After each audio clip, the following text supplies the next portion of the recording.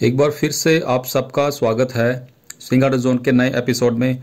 दोस्तों, हम कई बार मारुति सुजुकी की जो बॉडी क्वालिटी है, कार क्वालिटी, जो सेफ्टी फीचर्स है, स्पेशली जो क्रैश टेस्ट रेटिंग है, उसको लेकर हम कई बार बात कर चुके हैं।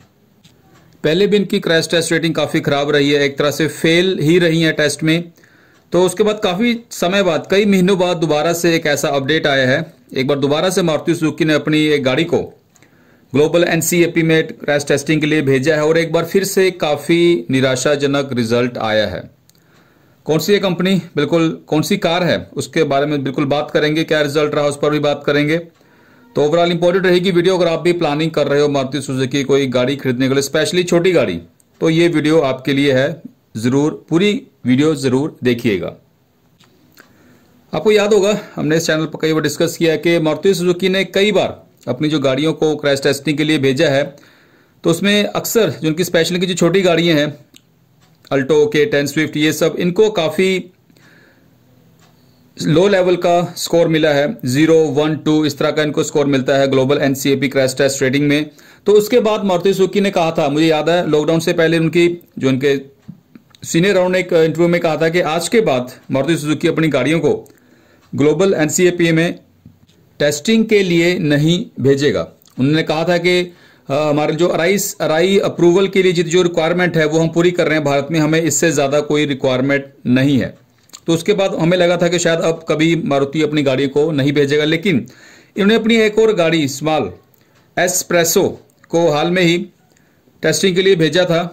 और हम कह सकते हैं कि एक बार दोबारा से काफ़ी निराशा हुई है जो इसका रिज़ल्ट निकल कर आया है। ज़ीरो स्कोर मिला है अडल्ट सेफ्टी में और हाँ कुछ स्कोर थोड़ा इनको इम्प्रूवमेंट ज़रूर थी चाइल्ड सेफ्टी में, लेकिन ओवरऑल ड्राइवर सेफ्टी की बात करें तो वहाँ पर ज़ीरो स्कोर एसप्रेसो को मिला है crash test rating global NCAP हम सब जानते हैं कि सभी गाड़ियाँ Maruti Suzuki hard track platform पर बनी है, लेकिन इस रिज़ल्ट में इस प्लेटफॉर्म को काफ़ी अनस्टेबल बताया गया है। ड्राइवर और पैसेंजर की जो चेस्ट प्रोटेक्शन है, काफ़ी पुअर लेवल की यहाँ निकल कर आई है। ड्राइवर जो फ्रंट पैसेंजर है, जो या अडल्ट सेफ्टी है, बिल्कुल ज़ीरो स्कोर मिला है। चाइल्ड सेफ्टी में थोड़ा इंप्रूवमेंट ज़रूर देखी गई है। मुझे उम्मीद थी कि इतने महीनों बाद मारुति सुजुकी कोई गाड़ी भेज रही है तो बिल्कुल कुछ इंप्रूवमेंट ज़रूर होगी, लेकिन वही एज इट इज़ पुराना रिज़ल्ट आया है। बुरी तरह से फेल हुई है इनकी गाड़ी क्रैश टेस्ट रेटिंग में। तो अब सीधी बात है कि मैंने पहले भी कहा है अभी कहता हूँ कि एक बार दोबारा सोचने की ज़रूरत है, अगर आप मारुति सुजुकी की कोई छोटी गाड़ी हैचबैक खरीदने की सोच रहे हो तो एक बार सेफ्टी फीचर्स के बारे में ज़रूर सोचिए, क्योंकि उस गाड़ी में सिर्फ़ आप ही नहीं, आपकी फैमिली भी सफ़र करती है। वहीं अगर हम बात करें भारत की अपनी कंपनीज़ मैं मारुति सुजुकी को इंडियन कंपनी नहीं मानता हूँ, क्योंकि मैक्सिम शेयर आज की डेट में सुजुकी के पास है। मारुति सिर्फ़ नाम का एक नाम साथ में लगा हुआ ये सिर्फ़ एक सुजुकी ही इसको आप कह सकते हैं। वहीं भारत की अपनी company Tata Motors Mahindra and Mahindra five star rating इनकी गाड़ियों को five star four star rating इनकी गाड़ियों को मिल रही है। टाटा की नेक्सन अल्ट्रोज इनको फाइव स्टार है। जो छोटी टियागो है, उसको भी फोर स्टार रेटिंग है। वहीं जो नई गाड़ी आ रही है महिंद्रा की लाइक एक्सयूवी 300 इनको भी फाइव स्टार रेटिंग मिल रही है। वैसे काफ़ी शर्म की बात है। By volume number one position यहाँ पर आती है मारुति सुजुकी की तो बट इनकी क्वालिटी देखिए। बिल्कुल ज़ीरो स्कोर इनको मिल रहा है टेस्टिंग में तो बिल्कुल शर्म की बात है। अब मैं इसमें अब ज़्यादा क्या कहूँ, मुझे मुझे कई बार शब्द नहीं मिलते हैं।